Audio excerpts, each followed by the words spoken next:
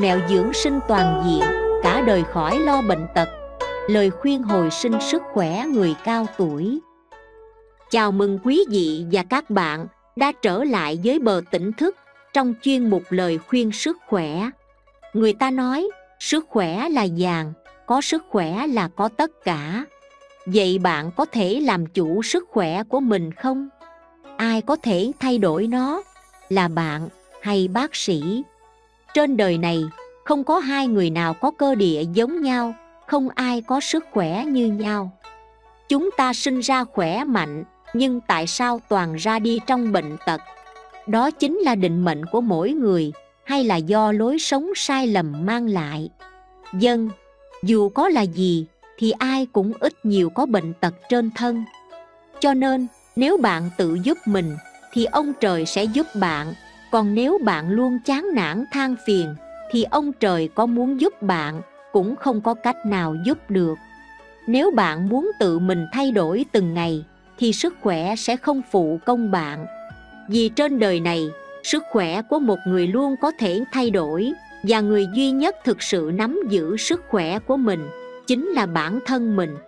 Nếu bạn quyết tâm hồi sinh sức khỏe, bạn sẽ không chạy theo món ngon vật lạ nếu bạn hướng tới trường thọ, bạn sẽ không lười biếng dưỡng sinh mỗi ngày. Nếu bạn đã thấy tầm quan trọng của sức khỏe, bạn sẽ biết mình cần phải làm gì. Thực ra, một nửa sức khỏe của bạn đến từ việc ăn uống, ngủ nghỉ và tập luyện, và một nửa còn lại sẽ đến từ tâm lý. Khi bạn có tâm lý tốt, bạn sẽ không gặp rắc rối bởi những vấn đề tầm thường bạn cũng sẽ không bị những điều tầm thường, làm mệt mỏi xác thân. Tâm rộng thì đường cũng rộng, tâm tĩnh thì người an lạc. Vậy nên, để có một thân thể khỏe mạnh, thì hướng đi đúng đắn là hãy bắt đầu bằng việc tu dưỡng tâm hồn. Nếu tâm hồn luôn tĩnh lặng, thì đường đời sẽ bình an.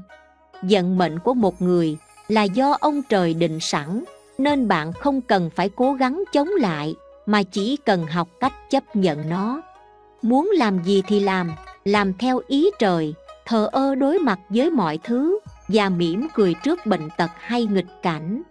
Lúc ấy, bạn sẽ mạnh mẽ biết bao, bạn sẽ sống tự do, vượt qua mọi bệnh tật, và sống trường thọ.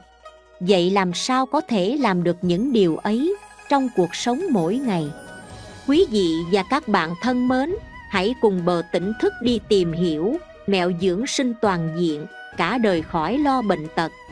Lời khuyên hồi sinh sức khỏe người cao tuổi. Xem hết video, bạn sẽ biết bí quyết song dưỡng thân tâm và làm cách nào để tăng sức sống cho mình.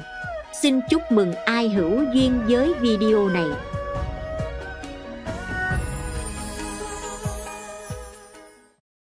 Dân, chăm sóc thân thể cộng với tu dưỡng tâm trí, cộng thêm dưỡng khí, thì bằng sống trường thọ. Chăm thân mà bỏ quên tâm, thì như đổ nước vào bình thủng. Tu tâm mà quên dưỡng thân, thì như đèn cạn dầu. Vậy nên, người trí tuệ sẽ coi trọng cả hai và nuôi dưỡng cả thân lẫn tâm. Đầu tiên là nói về chăm sóc thân thể. Đôi mắt là cửa sổ của tâm hồn, nếu mắt mờ chân yếu thận suy thì sống trăm năm cũng chẳng ích lợi gì. Vì thế, hãy ăn sáng một bát cháo kỹ tử và mè đen để cải thiện thị lực và bồi bổ cơ thể.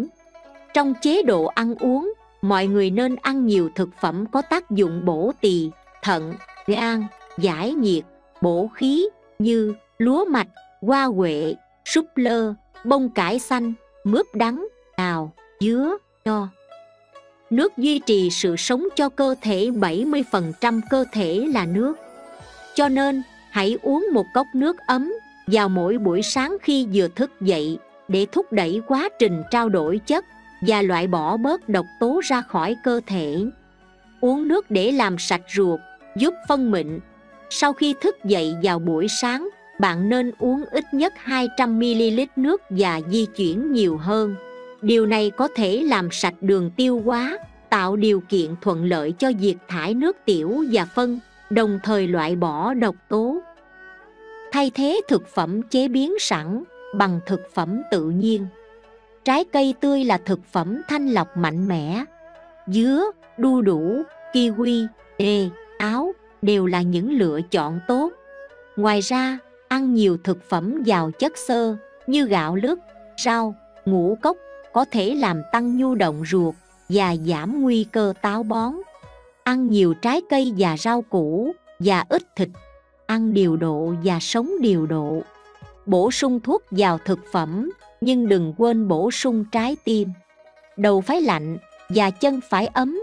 Lấy của cải làm cỏ, lấy thân làm kho báu. Sự hài lòng luôn là hạnh phúc và không cần phải có sự bình yên thường xuyên vì cuộc sống luôn xô bồ, mà ta thì không thể kiểm soát. Vậy thì chỉ cần quay vào bên trong tâm, sẽ tìm thấy bình yên trong từng hơi thở. Ăn ba bữa một ngày, lượng rau, trái cây vừa phải, đi ngủ đúng giờ, thức dậy đúng giờ, và thức dậy từ từ. Không vội vã hay hoảng hốt, và sống chậm lại để cảm nhận sự bình yên. Tâm không bệnh thì phòng bệnh sớm, tâm khỏe thì cơ thể tốt phải biết giữ tâm cân bằng, tâm trạng ổn định thì ít bệnh tật. Một lon coca hay nước tăng lực, chứa 12 thìa đường đơn, nghĩa là sau khi uống vào, sẽ trực tiếp chuyển hóa thành đường trong cơ thể chúng ta. Một số người bỏ bữa sáng để giảm cân, thực tế lại ngược lại, họ sẽ béo phì hơn. Vì thời gian giữa các bữa tối quá dài, nên lần sau họ sẽ ăn nhiều hơn bỏ bữa sáng và để bụng đói, sẽ nhanh chóng dẫn đến sỏi mật. Vì sao? Xin thưa, do dạ dày không có thức ăn, nên túi mật sẽ bài tiết ra một ít dịch tiết. Lâu ngày, sẽ biến thành sỏi. Bỏ bữa sáng cũng sẽ làm giảm quá trình trao đổi chất, nên không thể giảm cân. Chỉ có tăng cường trao đổi chất, chỉ khi đó bạn mới có thể đốt cháy chất béo bữa sáng là thứ quan trọng nhất mỗi ngày và cũng phải phong phú nhất. Bạn có thể ăn ngũ cốc hay bánh mì. Không cần lo lắng về lượng calo cao vì cơ thể con người sẽ tiêu thụ chúng một cách tự nhiên sau một ngày hoạt động. Thay vào đó, hãy cẩn thận vào buổi chiều và bữa tối. Chất xơ không chỉ giúp bài tiết mà còn hấp thụ chất béo và đào thải ra ngoài cơ thể vì vậy nếu muốn giảm cân, bạn nên ăn nhiều hơn. Ăn 4 đến 5 bữa một ngày, đó là nguyên tắc ăn ít và nhiều bữa. Hãy nhớ rằng, nguyên tắc giảm cân là tăng cơ, chỉ có cơ mới đốt cháy mỡ, nếu không sẽ chỉ mất nước và khiến cơ thể yếu đi. Các nha sĩ khuyên bạn chỉ nên đánh răng sau khi ăn sáng. Vì miệng là nơi bẩn nhất trên cơ thể, tệ hơn cả hậu môn là nơi chứa nhiều vi khuẩn nhất, đặc biệt là sau khi ăn. Không nên hấp thụ quá nhiều muối, vì muối sẽ giúp hấp thụ đường. Ăn ít đường, nhưng lại ăn nhiều muối, cũng sẽ khiến cơ thể hấp thụ đường. Muốn đối phó với kẻ thù, thì hãy rủ họ đi ăn đồ nướng. Vì đồ nướng sẽ sinh ra chất gây ung thư, khi ăn vào sẽ không đào thải ra ngoài, và tích tụ lâu ngày trong cơ thể không ai có thể ước tính được lượng chất gây ung thư sẽ tích tụ trong cơ thể là bao nhiêu. Nhưng chúng sẽ thải ra khi sức đề kháng của cơ thể yếu già đi, bận rộn hoặc đầu óc bị căng thẳng trong thời gian dài.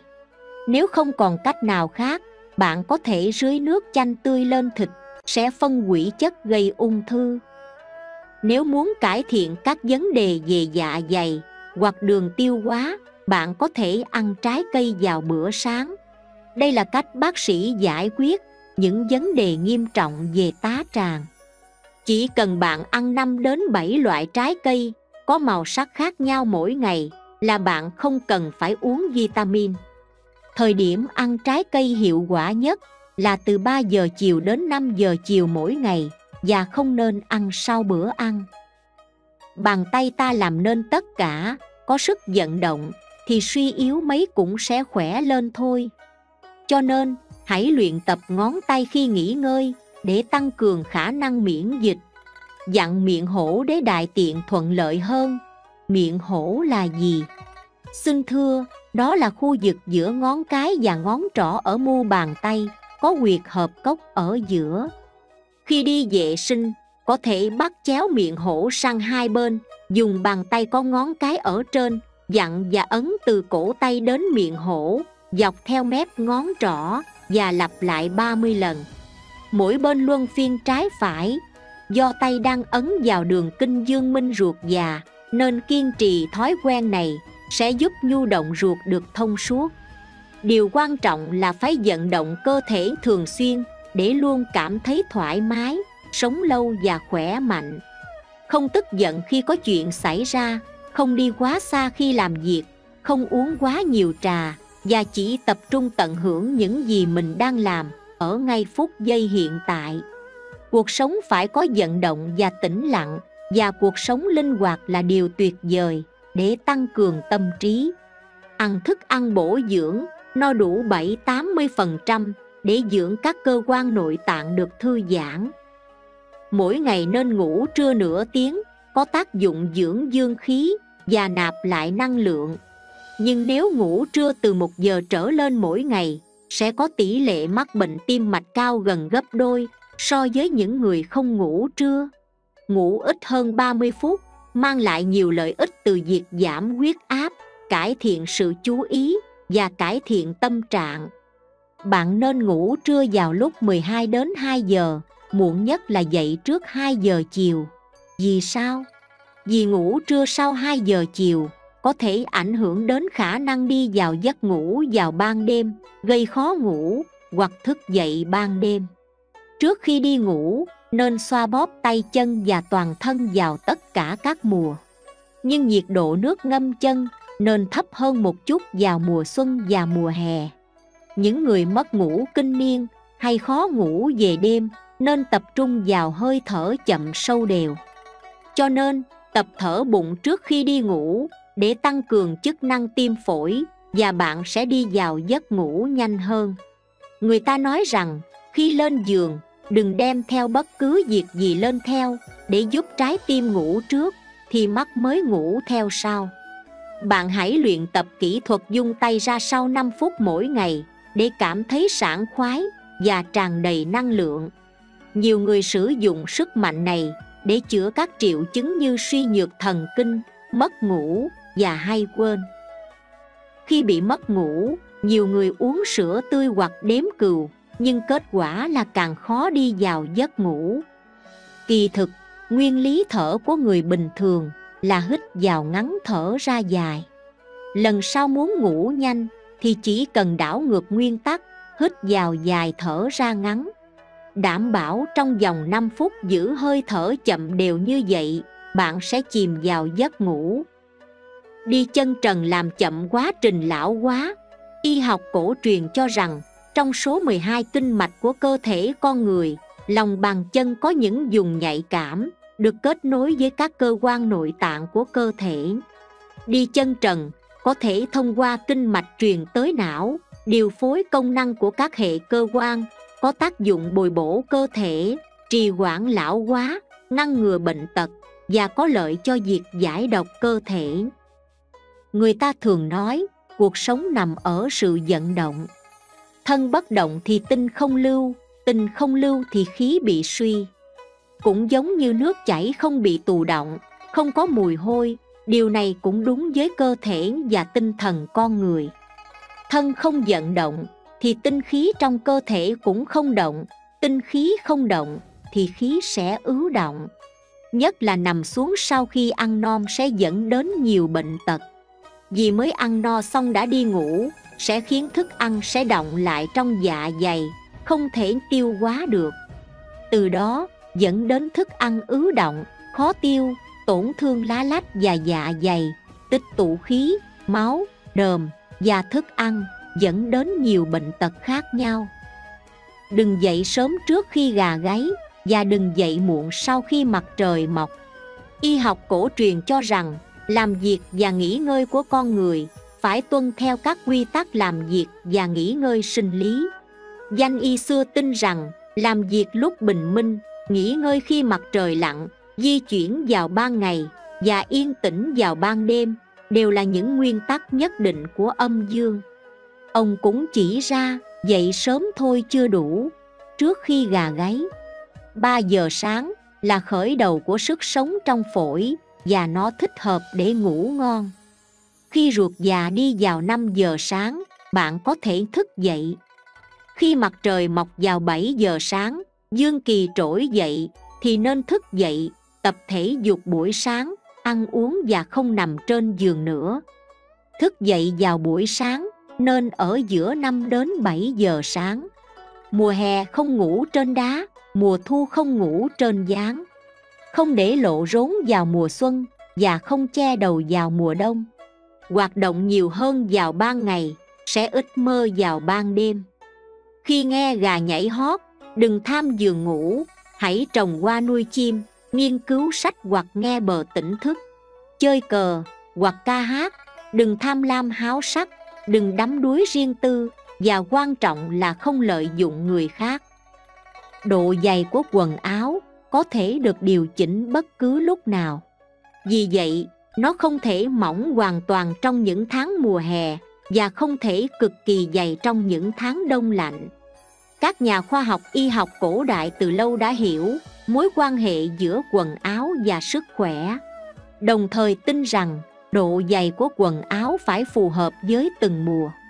Không mặc quá mỏng vào mùa hè và không mặc quá dày vào mùa lạnh. Quần áo phải thích ứng với khí hậu bên ngoài và không quá khắc nghiệt. Và chỉ ra thêm, khi đang nóng hay lạnh mà cởi đồ ra đột ngột thì cơ thể sẽ bị tổn thương khí. Hãy nuôi dương vào mùa xuân hạ, nuôi âm vào mùa thu đông. Âm dương bốn mùa là cơ sở cho sự sinh tồn của dạng vật. Người xưa nuôi dưỡng dương vào mùa xuân hạ và bổ sung âm vào mùa thu đông, dựa vào đó đế thuận theo âm dương trong bốn mùa. Chúng có thể sống khỏe và phát triển thuận với dạng vật. Nếu nguyên tắc này bị vi phạm, thì bản nguyên của nó sẽ bị tổn hại, năng lượng chân chính của nó sẽ bị tiêu hủy. Mùa mùa xuân nên đi ngủ sớm và dậy sớm, khi ngủ đầu quay về hướng đông để thuận theo khí tự nhiên. Với ai đang khổ sở vì mất ngủ, mỗi ngày trước khi đi ngủ chỉ cần thực hiện phương pháp này một lần. Phương pháp là nằm ngửa, đầu hướng đông, chân hướng tây, đưa lưỡi lên xuống, ngậm miệng và nhắm mắt lại, súc miệng khô 30 lần để tăng dần lượng dịch, làm mát toàn cơ thể. Khi trong miệng đầy nước miếng thì đảo lưỡi và nuốt nó từ từ. Phương pháp này cũng có hiệu quả đối với tình trạng khô miệng, khô da do cơ thể không đủ nước vào mùa xuân. Tắm là phương pháp thải độc triệt để nhất khi ngâm toàn bộ cơ thể vào nước nóng sẽ có tác dụng làm ấm. Lúc này, nhiệt độ cơ thể sẽ tăng lên đáng kể, sau đó tuyến mồ hôi và lỗ chân lông sẽ nở ra, vì thế dễ đổ nhiều mồ hôi. Chúng ta đều biết rằng mồ hôi là một phần của quá trình giải độc. Theo cách thông thường này, độc tố và chất thải trong cơ thể sẽ được đào thải qua mồ hôi. Nhờ đó, máu cũng được lọc và làm sạch, giúp tăng cường sức khỏe cơ thể và đồng thời đóng vai trò chăm sóc da. Ngoài ra, bã nhờn và mồ hôi sẽ tạo thành một lớp màng bảo vệ trên da để khóa độ ẩm và giúp da không bị khô. Tất nhiên, tác dụng của việc tắm không rõ rệt, nên tôi khuyên bạn nên thường xuyên lựa chọn tắm nếu có điều kiện. Đừng gội đầu nếu bạn no và đừng tắm nếu bạn đói. Rửa mặt bằng nước lạnh để làm đẹp và chăm sóc sức khỏe. Khi mồ hôi đã ra, đừng đổ nước lạnh lên người. Đánh răng bằng nước ấm để ngăn ngừa ê buốt và làm chắc răng. Giữ gìn sức khỏe nhờ vận động, nuôi dưỡng tâm hồn nhờ tĩnh lặng. Tâm không thanh tịnh thì tư tưởng khởi lên cướp mất bình an. Khi tâm bình an thì bệnh tật sẽ không bao giờ phát sinh. Hãy nhắm mắt lại và nghỉ ngơi, tĩnh tâm và tập trung vào hơi thở chậm sâu đều của bạn. Thứ hai là nói về nuôi dưỡng tâm trí, đây có thể xem là một lời chúc năm mới cho những ai đang nghe video này. Nếu có thể xem hết video, hiểu và làm được một nửa những gì tôi chia sẻ, thì từ năm sau bạn sẽ luôn may mắn và trường thọ. Bởi vì may mắn và tuổi thọ được thu hút về với bạn là nhờ tâm trí nhẹ nhàng với tần số rung động cao hơn. Hãy nhớ trong tâm trí ở cảnh giới nào thì cuộc sống bên ngoài và sức khỏe sẽ ở cùng cảnh giới tương đương. Vậy tâm trí là gì? Là bao gồm những suy nghĩ, tư tưởng, niềm tin và đời sống tinh thần bên trong bạn. Nếu cơ thể là nồi cơm điện, thì tâm trí là dòng điện để nấu cơm. Nếu cơ thể là chiếc xe ô tô, thì xăng dầu hay điện là thứ giúp chiếc xe hoạt động. Và tâm trí trong mỗi con người có thứ mạnh hơn chúng ta tưởng tượng. Bởi vì tư tưởng tạo nên cuộc đời, tư tưởng ở đâu thì đời ta ở đó ví dụ, tư tưởng của bạn là gia trưởng và bảo thủ, thì bạn sẽ khiến những người xung quanh mệt mỏi vì mình và hiếm khi bạn được nghe sự thật từ miệng họ về bạn. Những năng lượng tiêu cực của bạn sẽ lan tỏa sang người xung quanh, khiến họ tiêu cực theo, và con cháu bạn cũng vậy. Vậy là từ một người gia trưởng sẽ khiến cả đại gia đình mệt mỏi và chìm trong không khí tiêu cực và khi mọi sự chịu đựng đi quá giới hạn, thì bạn đời sẽ rời xa ta, con cái có thể bị trầm cảm, kinh tế gia đình kiệt quệ. Ngược lại, một người có tư tưởng buông buông bỏ và xem nhẹ, họ sẽ khiến cho những người xung quanh cảm thấy thoải mái, ai cũng muốn gần gũi vì năng lượng tích cực. Từ một người khó khăn và cô đơn, họ có thể có nhiều người giúp đỡ và dần thoát ra khỏi mọi bệnh tật và có cuộc sống bình an. Tóm lại, trong tâm bạn có gì, thì dần dần trong đời bạn sẽ có thứ ấy. Đó chính là nhân quả, là gieo tư tưởng gặt hành vi, gieo hành vi gặt tính cách, gieo tính cách gặt số phận. Trong cuộc sống, chúng ta thường gặp phải nhiều chuyện, khiến bản thân bất lực. Đôi khi, cũng sẽ gặp phải một số người không thể dùng lý lẽ. Nếu không học cách bao dung bạn sẽ để mình rơi vào những rắc rối vô tận, dính mắc vào đó mà không thể thoát ra. Ngược lại, khi đối mặt với một lỗi lầm nhỏ, một nụ cười nhẹ nhàng có thể mang lại sự bao dung và thấu hiểu. Đây chính là tha thứ cho người khác bằng tấm lòng bao dung và không khắc khe với bất kỳ ai. Khoan dung không phải là hèn nhát và kém cỏi. Khoan dung là một loại tu luyện và là một phẩm chất của đức hạnh và trí tuệ. Để bao dung, hãy bao dung với người khác và bao dung với chính mình. Cuộc đời quá ngắn ngủi và vội vã tại sao chúng ta lại phải lãng phí mỗi ngày vào những xích mích không cần thiết? Bởi vì khi tâm bạn cho đi thứ gì, bạn sẽ nhận về thứ ấy. Có một câu chuyện thế này, một chàng trai trẻ gặp phải nhiều hiểu lầm và thất bại vì không được người khác thấu hiểu, nên anh trở nên hoài nghi và luôn đối xử với người khác bằng sự cảnh giác và thù hận. Suốt ngày anh cảm thấy rất chán nản, như thể cả thế giới đang chối bỏ mình. Cứ như vậy, sống được một năm mà anh gần như suy sụp. Một ngày nọ, để thư giãn, anh leo lên một ngọn núi có phong cảnh đẹp để cho tâm trí được dễ chịu hơn ngồi trước phong cảnh tao nhã, nhưng trong đầu anh không ngừng suy ngẫm về những trải nghiệm khác nhau của mình. Càng nghĩ càng tức giận và hận thù trong lòng như lũ lụt dân trào. Cuối cùng, anh không nhịn được nữa, bèn hét lớn lên, đồ đáng ghét, đồ xui xẻo, đồ tồi tệ và thung lũng bỗng giọng trả lại, đồ đáng ghét, đồ xui xẻo, đồ tồi tệ nghe vậy tâm trạng anh như đổ thêm dầu vào lửa, anh ta càng tức giận hơn và tiếng la hét lại gian lên. Càng chửi rủa, tiếng gian càng to và kéo dài, khiến anh càng tức giận. Lúc này, phía sau đột nhiên gian lên giọng nói, thật đáng yêu, Giật may mắn, là quý nhân. Anh ta quay lại, thì thấy một vị thiền sư trong một ngôi chùa cách đó không xa, đang hét vào vách núi một lúc sau, thiền sư mỉm cười đến gặp anh và hỏi anh tại sao lại như vậy. Rồi anh kể cho hết mọi chuyện mình đã gặp phải. Thiền sư nghe xong câu chuyện, mỉm cười nói, thế giới này cũng như một thung lũng vậy, nên giọng điệu của con thế nào thì sẽ nhận lại loại giọng điệu đó. Tâm hồn mỗi người giống như một đài gương, nên những gì con nhìn thấy ở thế giới ngoài kia chính là ở trong tâm con phản chiếu ra mà có. Con cho đi cái gì thì sẽ nhận lại những thứ ấy. Tốt nhất con nên thay đổi thói quen của mình trước và học cách đối mặt với mọi thứ xung quanh bằng thái độ thân thiện thì con sẽ có được niềm hạnh phúc bất ngờ. Sau khi nghe lời thiền sư, chàng trai như chợt hiểu ra, nghĩ đến việc mình ngày nào cũng oán trời trách đất, trong lòng tràn đầy sân si anh liền cảm thấy hổ thẹn.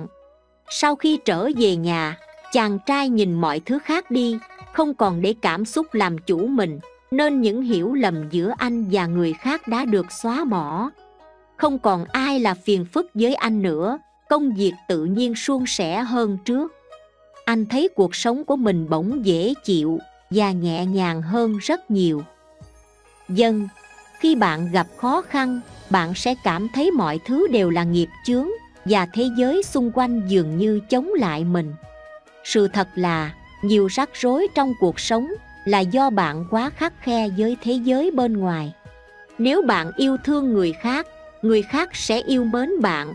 Nếu bạn giúp đỡ người khác người khác cũng sẽ giúp đỡ bạn. Thế giới có tính tương tác.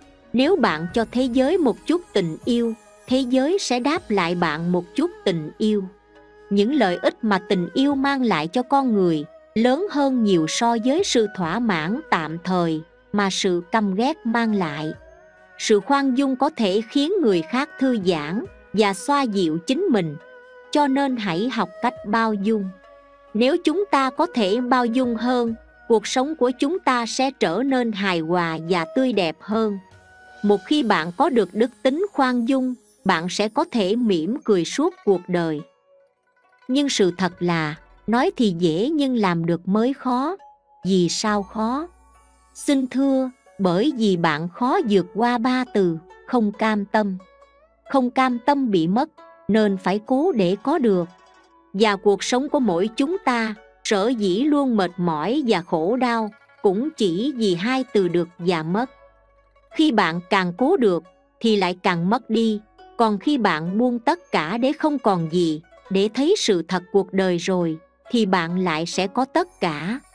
Trong cái có, sẽ không có gì, và trong cái không có gì, sẽ có tất cả. Ví dụ, một người trong tay có tất cả, nhưng ngạo mạn tự đắc, không xem trọng ai ra gì, thì không thấy được ý nghĩa cuộc sống là gì. Chỉ khi hết phước, thất bại trắng tay không còn gì, mới thấy ý nghĩa của từng đồng xu lẻ, và cuộc sống bình an mới là chân ái vậy thì giàu sang cũng khổ, mà nghèo khó cũng khổ. Chỉ có trải qua cả hai, và không dính mắc vào giàu hay nghèo. Lúc ấy bạn mới có tự do, mới được bình an, và cảm nhận được thiên đường cực lạc trong tâm mình. Ấy chính là giải thoát khỏi mọi dính mắc, ngay khi đang còn sống trên đời này, chứ không phải đợi khi chết, để được độ về một cõi không có thật. Vậy thế nào là khổ? Là tham sân si mạng nghi, khiến bạn phiền não, là hỉ nộ ái ố và thất tình lục dục, khiến sức khỏe của bạn cạn kiệt. Vì sao lại như vậy? Xin thưa, tất cả là do hai chữ mong cầu. Người ta chỉ mong có cái tích cực, cái được, nhưng lại ghét cái tiêu cực và lẫn tránh cái mất. Nhưng có mất thì mới có được, bước qua tiêu cực, rồi mới thấy tích cực đích thực là gì? Bạn thử ngẫm xem, khi bạn nghèo, bạn khao khát sự giàu có. Khi bạn cô đơn, bạn khao khát tình yêu. Khi bạn già, bạn khao khát tuổi trẻ. Trước khi chết, bạn khao khát cuộc sống. Cuộc sống luôn có giữa được và mất. Nỗi đau đi đôi với niềm vui, sức khỏe và bệnh tật luôn song hành, giống như mặt trời mọc, kéo theo mặt trời lặn. Khi trời có trăng tròn thì chắc chắn thế giới sẽ có nửa dần trăng. Tập hợp và chia ly, lo lắng về được và mất, tất cả đều xảy ra trong một niệm duy nhất, chính là trong tâm trí bạn mà thôi. Và chân lý thì luôn khách quan, và không gì mong cầu chủ quan của bạn mà thay đổi. Cho nên bạn mong cầu không được, thì bạn khổ đau, bạn gặp việc bất như ý, thì oán người trách đời. Và chân lý ở đời là có được sẽ có mất có mất thì mới có được, muốn trưởng thành thì phải mất đi sự hồn nhiên. Khi đã chọn một nghề nào đó thì không nhận ra trách nhiệm của nghề khác. Khi đến phố thì phồn hoa thì mất đi bản làng yên tĩnh. Khi có an ninh đảm bảo thì mất đi sự tự do hồn nhiên. Cho nên mất mát cũng có nghĩa là một loại được lợi. Rèn luyện mang lại sự trưởng thành, chăm chỉ mang lại mùa màng nước mắt giúp thưởng thức hương vị cuộc sống, thất vọng dẫn đến con đường thành công, nhưng tiếc nuối là một loại vẻ đẹp khác. Rộng lượng và cho đi tiền bạc sẽ chiếm được cảm tình của mọi người, chân thành và thẳng thắn sẽ giúp bạn có được bạn thân. Thờ ơ với danh lợi sẽ cho bạn sự bình an trong tâm, thanh tịnh và thoát khỏi ham muốn sẽ cho bạn ung dung tự tại. Người đời luôn cho rằng trên đời có thể có được bất cứ thứ gì, thành công, giàu có, tiền tài danh vọng. Nhưng họ không biết rằng, tổn thất để đạt được lại nhiều hơn lợi ích. Luôn có người phàn nàn và mất nhiều hơn được. Luôn có người thở dài và bỏ lỡ cơ hội.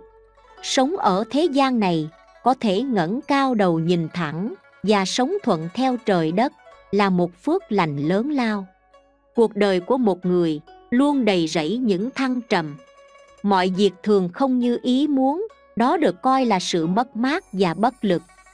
Khi còn trẻ, bạn không biết cách đạt được. Khi bạn trung niên, bạn không muốn mất đi, chỉ khi về già bạn mới biết rằng, có những thứ, nếu có được hoàn toàn thì nhàm chán, có những thứ lại vô cùng quý giá khi bạn mất chúng mãi mãi cuộc sống rất ngắn ngủi, bạn không thể ngăn cản những gì đang đến và bạn không thể kìm hãm những gì đang diễn ra.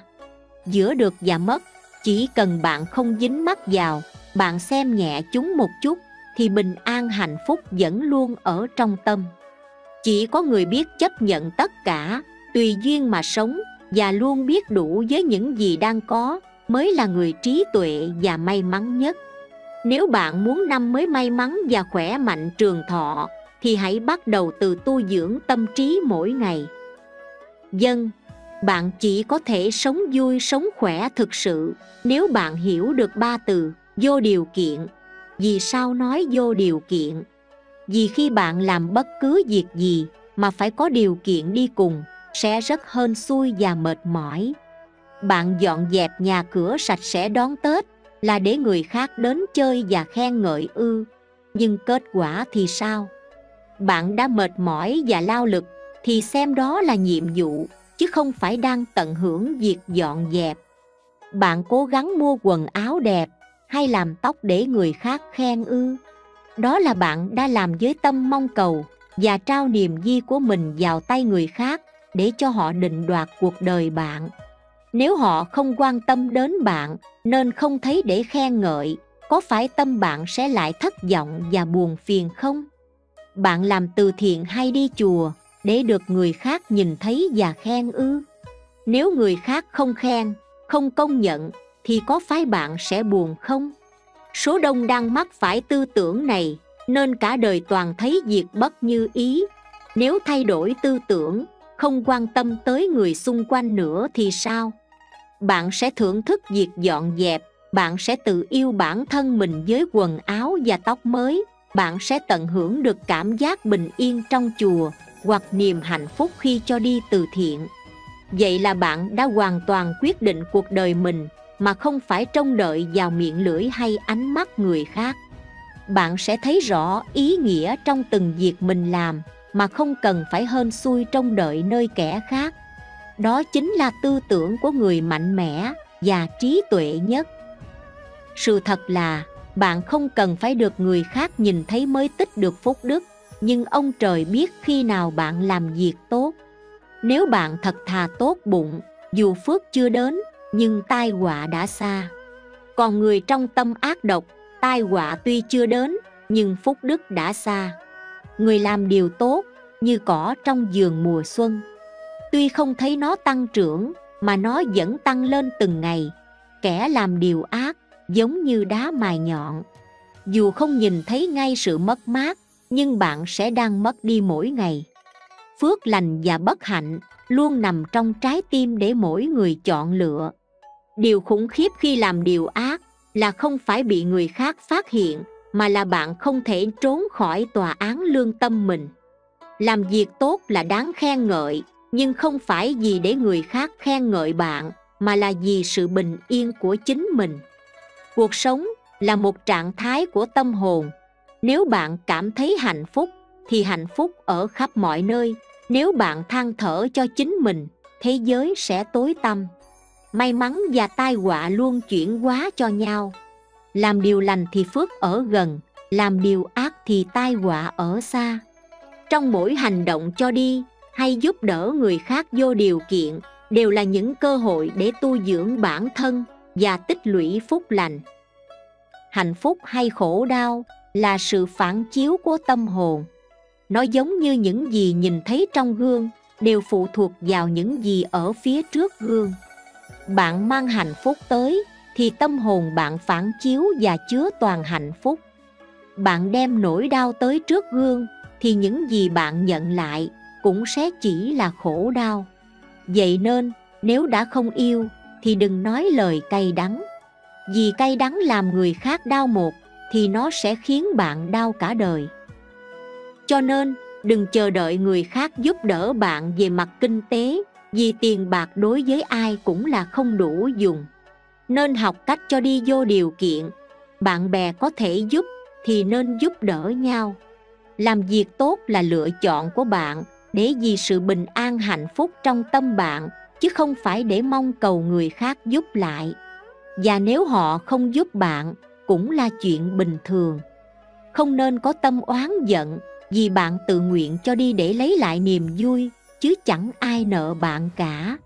Lúc tranh danh đoạt lợi, hãy khù khờ một chút, để không mệt đầu óc. Khi nhận tin đồn thị phi, nên khù khờ một chút để không nhọc lỗ tai con người không ai là hoàn mỹ, mỗi cá nhân có một phong cách khác nhau.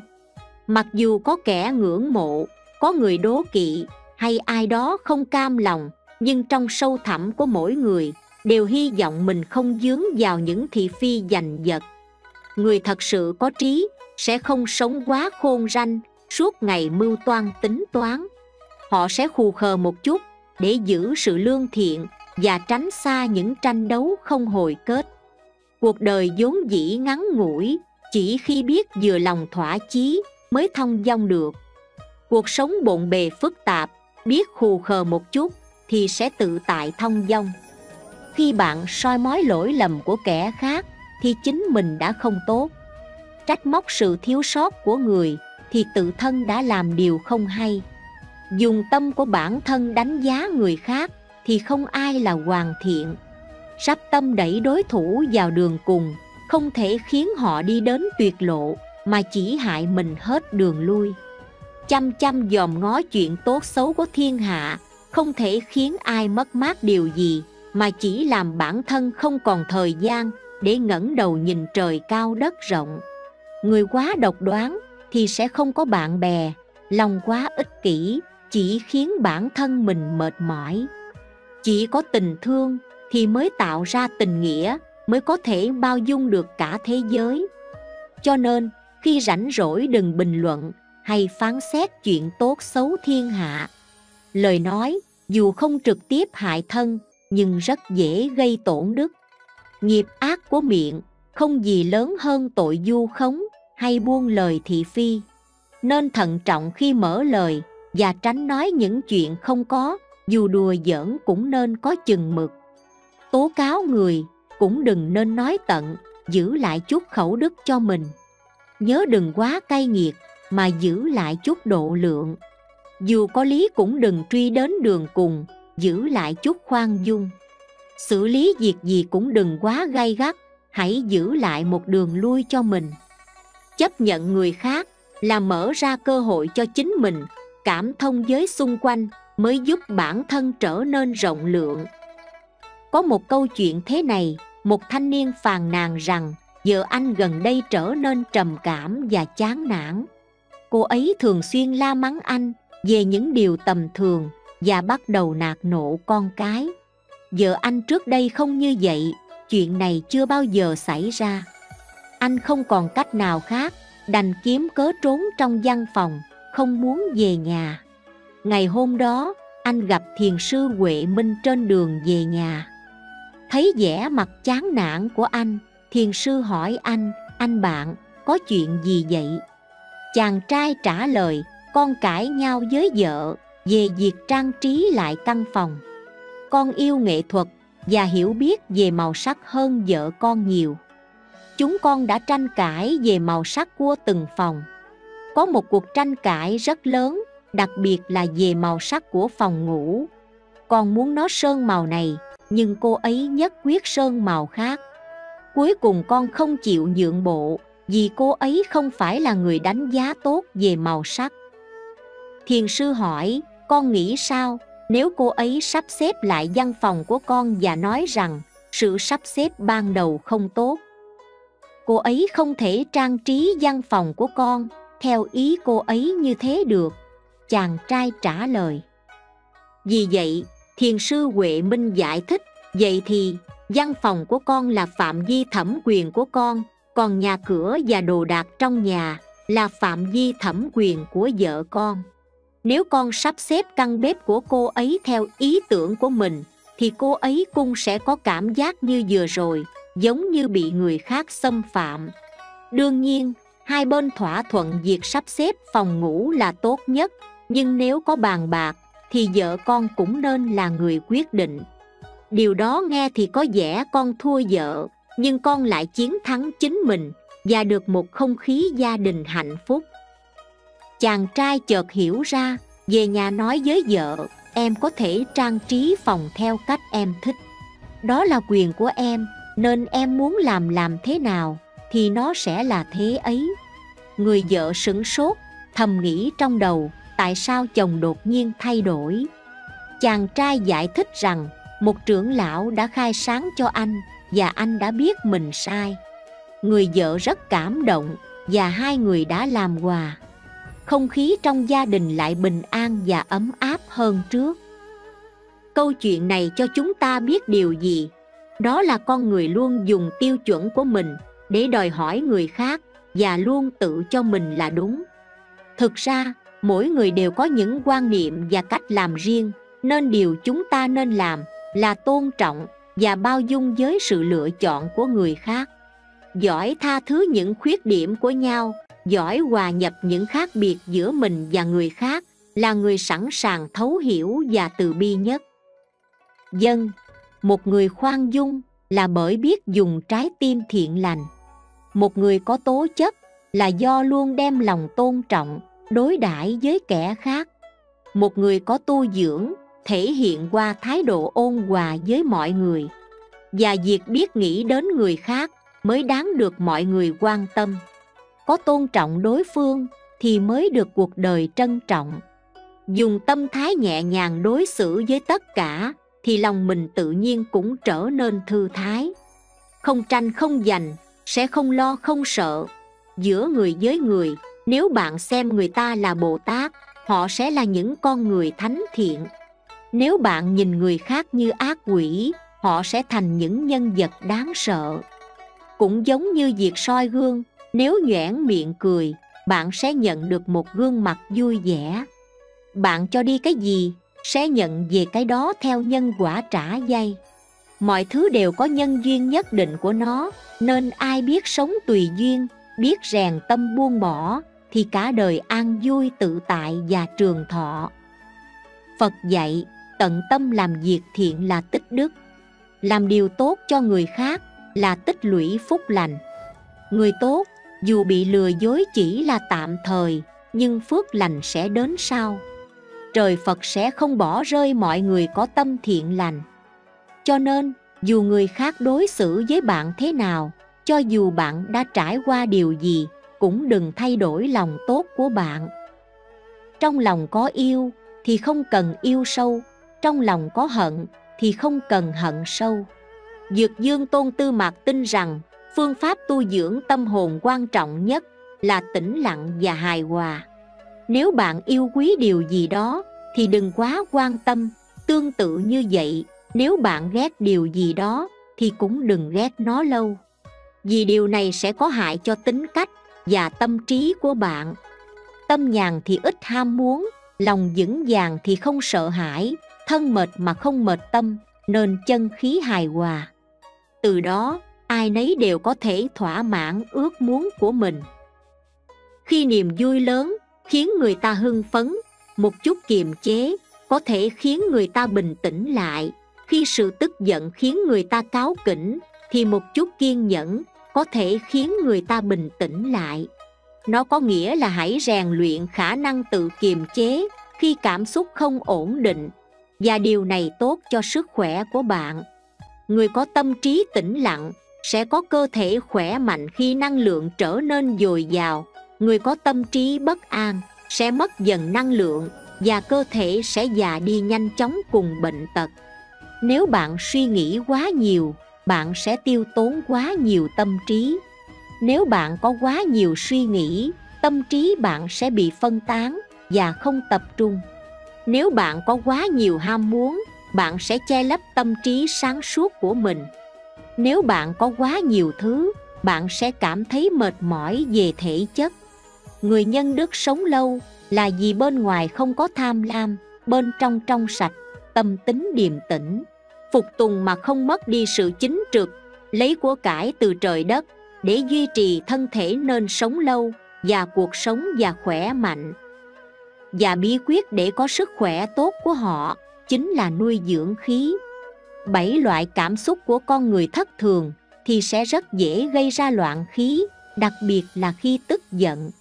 Điều cấm kỵ nhất trong dưỡng sinh là là tức giận, bởi vì tức giận là hại gan và tàn phá cơ thể của chính mình bằng lỗi lầm của người khác. Thứ ba là nói về nuôi dưỡng khí và tăng sinh lực cho cơ thể. Y học cổ truyền cho rằng tuổi thọ của một người phụ thuộc vào việc sinh lực của người đó có đủ hay không. Nếu sinh lực đủ thì tà ma sẽ không xâm chiếm và bệnh tật sẽ không phát sinh. Nhiều phương pháp bảo vệ sức khỏe trong y học cổ truyền đều nhằm mục đích bổ sung sinh lực. Vậy sức sống là gì? Đó là tinh thần và bản chất của con người. Ngủ ngon, ăn ngon, tiêu hóa tốt, suy nghĩ nhanh chóng mà không ho hay thở khò khè, hít thở nhẹ nhàng, tâm trí bình tĩnh, nước da hồng hào và giọng nói to rõ. Y học cổ truyền cho rằng sinh khí là khí cơ bản và quan trọng nhất trong cơ thể con người là nguồn gốc của sự sống con người. Sinh lực dồi dào thì bạn sẽ khỏe mạnh, sinh lực suy yếu sẽ sinh ra bệnh tật, sinh lực cạn kiệt sẽ dẫn đến tử vong. Tức là, sinh lực đủ thì sức miễn dịch mạnh sẽ đánh bại được bệnh tật. Nếu sinh lực thiếu hoặc yếu thì không sản sinh đủ kháng thể hoặc miễn dịch để đánh bại bệnh tật và dẫn đến tử vong có phương pháp nào phát hiện sức sống của một người không? Xin thưa, móng tay có thể trực tiếp phản ánh trạng thái bên trong của cơ thể. Sức sống dồi dào có thể được nhận ra từ dấu vết nửa dần trăng trên móng tay. Đưa tay ra sẽ thấy hình bán nguyệt màu trắng ở phần dưới móng tay. Hình lưỡi liềm màu trắng này gọi là dấu nửa dần trăng, được gọi là dòng sinh tử, tượng trưng cho bản chất của cơ thể con người nếu khí lực dồi dào, trên móng tay của hai bàn tay sẽ có hơn 8 vết nửa dần trăng, mỗi vết nửa dần trăng chiếm một phần năm móng tay, có màu trắng đục, càng trắng càng tốt. Dấu hiệu nửa dần trăng càng ít, nghĩa là khí lực suy yếu, tay chân dễ bị lạnh. Số nguyệt nguyệt tốt nhất là 8 nếu nhiều quá sẽ dễ bị tam cao và thiếu dinh dưỡng, nếu ít thì cơ thể sẽ lạnh sinh lực không đủ. Quá trình giảm vết nửa dần trăng bắt đầu từ ngón út và chuyển sang ngón cái. Nếu nó vắng mặt khi sinh ra thì sẽ không được dùng làm căn cứ chẩn đoán. Ngược lại nếu nó vắng mặt khi mới sinh ra và mắc phải thì có nghĩa là sinh lực đã cạn kiệt. Sự biểu hiện sức sống của cơ thể con người phải ở trạng thái bình yên đủ ít và thừa. Phương pháp bổ sung sinh lực là gì? Xin thưa, thứ nhất, buổi sáng đứng quay mặt về hướng đông, đầu thẳng, thân thẳng, hai tay buông thõng tự nhiên ở hai bên, thân thể thả lỏng từ trên xuống dưới.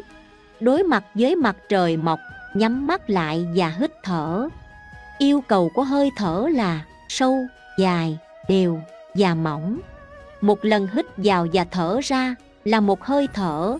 Hãy lặp lại 36 lần phương pháp này có thể hít vào đông thiếu dương khí và bổ sung sinh lực.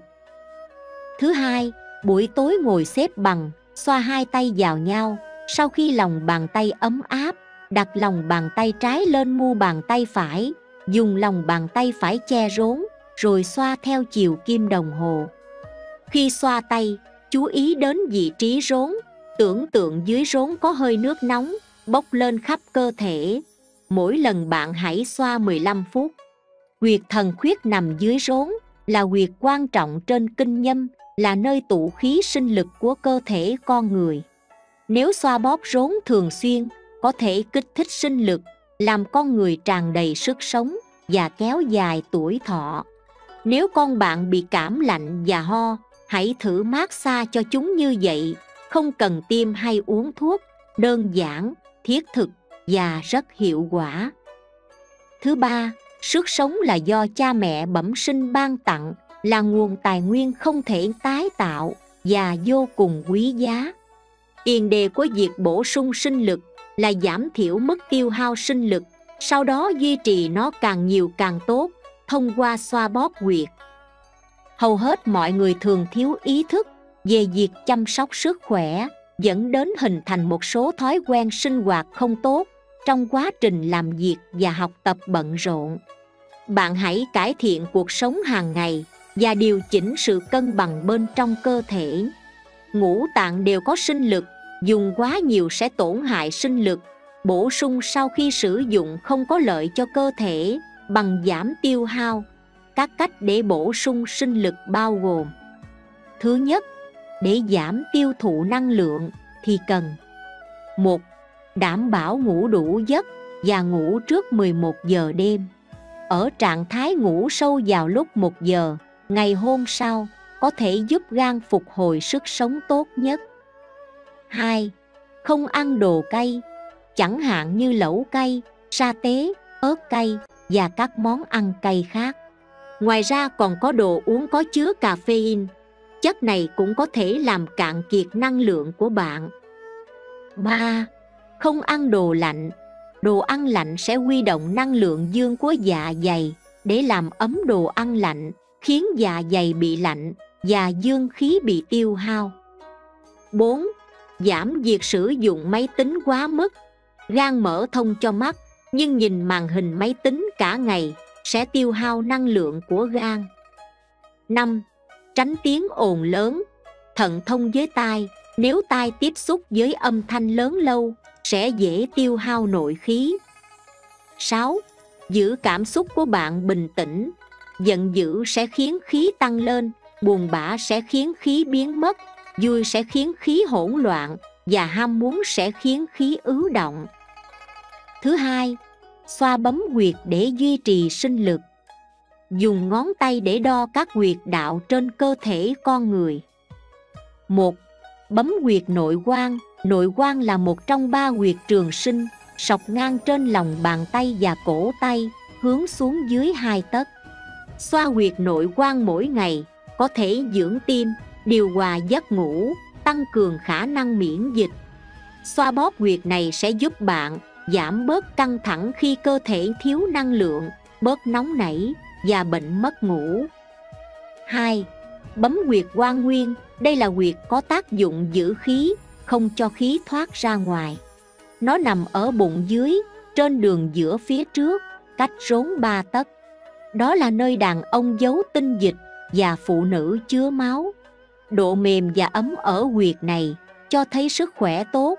Nếu quá mát, nghĩa là cơ thể đang ở trạng thái kém khỏe mạnh nhiệt độ dưới 30 độ là cảnh báo tiềm ẩn bệnh ung thư. Quá cứng, nghĩa là có vấn đề về phụ khoa, cần được chú ý nhiều hơn. Hàng ngày trước khi đi ngủ, xoa tay làm ấm huyệt quan nguyên, rồi đắp chăn lên trước khi chìm vào giấc ngủ. Điều này có thể giúp bạn duy trì sinh lực. 3.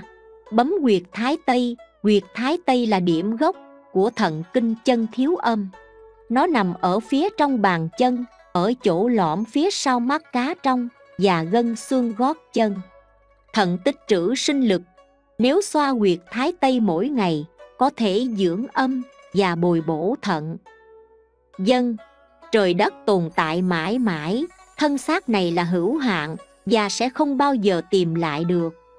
Cuộc đời không thể lặp lại, cuộc đời chỉ có một lần, nên hãy sống và trân trọng nó chúng ta không chỉ cần chăm sóc tốt cho cơ thể mình, kéo dài tuổi thọ và tránh xa bệnh tật đau đớn.